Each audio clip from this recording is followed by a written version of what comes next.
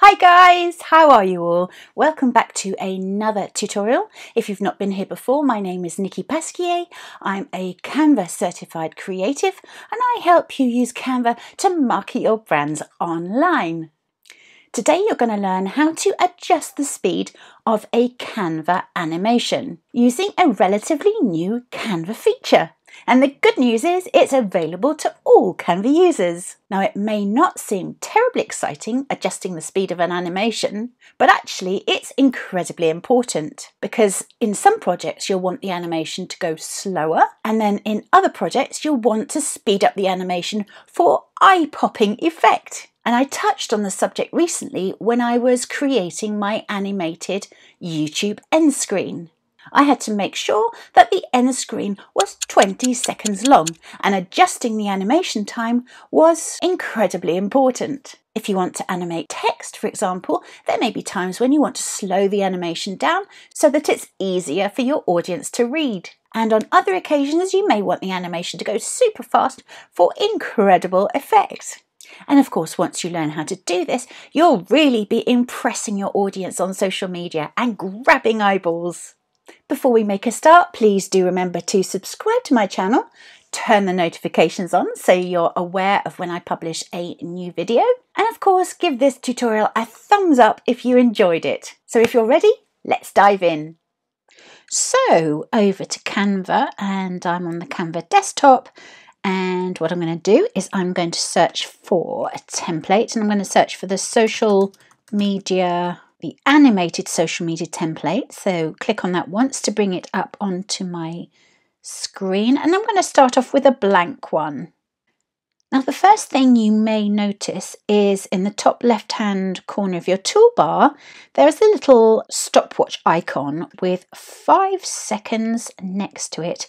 Now the animated social media template always defaults to 5 seconds. And this is what we're going to use to control and adjust the speed of your animation. And it'll all become clearer to you as we go through the tutorial. So what I'm going to do is I'm going to start editing my template by selecting the background and I'm going to change it to a black background. And I'm then going to start by adding some text. So over to the left hand sidebar and I'm going to select on text. You can either select from the brand fonts if you have Canva Pro, these are part of your brand kit, or you can use any of these fantastic fonts below. And you can see they really are incredibly eye catching. So just have a browse through and get some inspiration. I'm going to start off by selecting one of my brand fonts here click on it once to bring it up onto my template. Just going to reposition it here and then I'm going to type how to. Click on a corner button here to increase the size and reposition it so that it's central to the template. Okay, so I'm going to select the font and I'm going to change the colour using my primary brand colour pink. I'm going to duplicate this page by clicking on this little button here. Then I'm going to add some more text and I was really inspired by this particular font here. I really like it. So I'm going to click on it once to bring it up onto my template.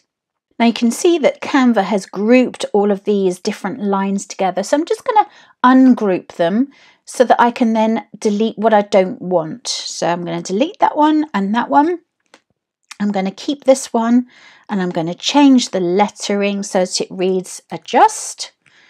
It's a little bit big, so I'm just going to pull that out and use one of the corner buttons to adjust the size and then drag it back into the center of my template. Brilliant. So I've got one page that starts how to, and then the second page reads how to adjust. Excellent. And I think while I'm at it, I'm going to change the color to my brand sort of turquoise colour, teal turquoise colour. There we are.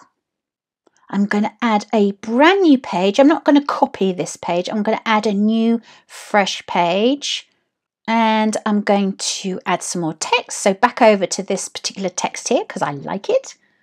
And I'm going to ungroup it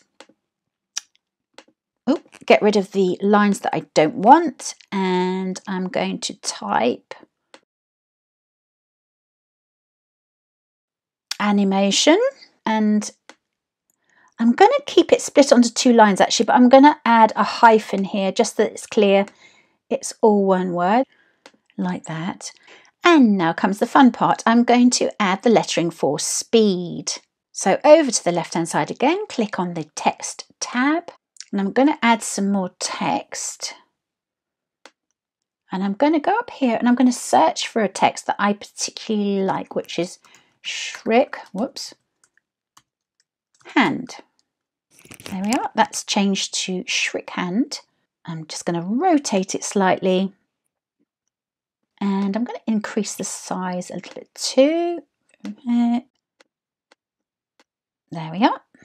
And now I'm going to change the alignment by clicking on this little button here so that it's left aligned. And now what I'm going to do is I'm going to type the first letter, which is of course S. I'm going to select this letter and I'm going to go up to the text effects. Now this is relatively new, so you may or may not have discovered it yet. So if I click on effects, you'll see that there are one, two, three, six, seven, eight new text effects, and they are all free to use. Now what I'm going to do is I'm going to click on splice. If I zoom in a little bit, the letter is grey and it has a white outline. I'm going to change the colour by highlighting the letter, going up to the top here to the text colour button and clicking on yellow. You can see that there's now a yellow outline to the letter. And I'm going to go back into effects and I'm going to change colour fill to pink. And I'm actually going to increase the size of the letter once again. What you're going to do now is you're going to go to the duplicate button again, click on duplicate page, and you're going to add another letter in the series. So that's course P. And you're going to continue this process until you've got all the letters in the word speed in my case. Okay, I'm just going to reposition that slightly. Now I've just tweaked the lettering slightly so that it's lowercase as opposed to uppercase because I think it contrasts nicely with the capital letters here. Now what I did before I started the tutorial was I clicked on the duplicate page button again to copy this page and I added a couple of really eye-catching stickers here. And you don't have to add stickers, it's just a little bit of decoration. Now, if you can remember at the beginning of my tutorial, I told you that an animation defaults automatically to five seconds. So when the entire animation is put together, it will take five seconds for page one to change to page two, and five seconds for page two to change to page three, and so on. So it would look something like this.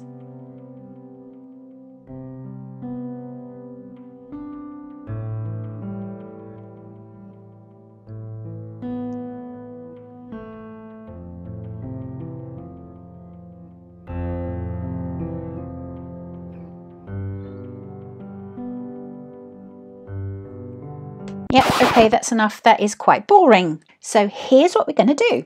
We're going to speed up the animation. So to do that, you click on the background of a page. You want to go to the top left-hand corner of your toolbar and click on this timer button. Now, to increase or decrease the timing, you can either slide this button until you find the correct timing, or to save you a lot of time and messing around, pop your cursor in this box here and just manually type in the timing. So for the first page, I'm going to type in 2. To confirm the changes, just press enter. There we are, 2 seconds. Right, now I'm going to go to the next page and I'm going to do exactly the same. I'm going to go to the timer button, click on it once, put my cursor in this little box here, type 2, enter, and again that's changed to 2 seconds. I'm going to do the same for the third slide, so I'm going to make that 2 seconds as well. Now here's where it gets interesting. I want to reveal the word speed letter by letter, so I'm going to adjust the timer so it changes to just 0.1 seconds. And I'm going to do the same for all the other pages.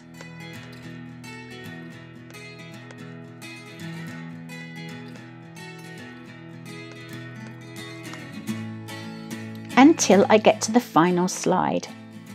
Now you can probably see this other little button next to the timer tab and this button says animate. Now we can have even more fun with our animation by either animating pages individually or all the pages. So let me just show you what I mean. To add an animation to a page, click on the background once again, go to the animate button and you'll see there are one, two, three, four, five, six animations which are available for free Canva accounts and a further five available for Canva Pro accounts. So let me just show you what I mean.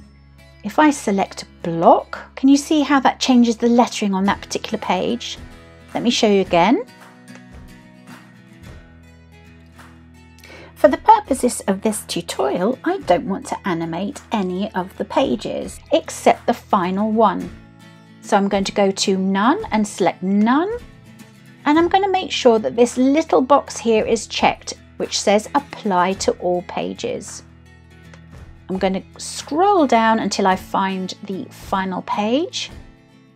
And this one I really do want to animate. So to do that, I select the background of the page, click on animate. I'm going to uncheck this button here, apply to all pages, since I only want it to apply to this particular page. And I'm going to click on neon. Let me just click it again so that you can see what happens to all the elements on the page. Fabulous, and that finishes off my animation. What I want to do now is have a look to see what it looks like all together. So I'm going to go to the top right hand corner of the toolbar here and I've got the chance to play back the entire animation. As you can see it lasts 12 seconds. I'm going to click on this little play button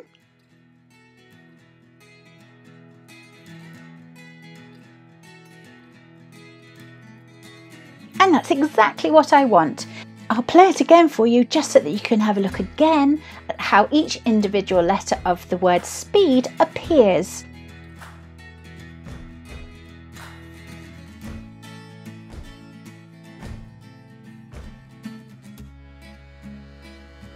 And that's exactly what I want. Now all I need to do is download the entire animation as a video file. So click download video Make sure you've selected all the pages.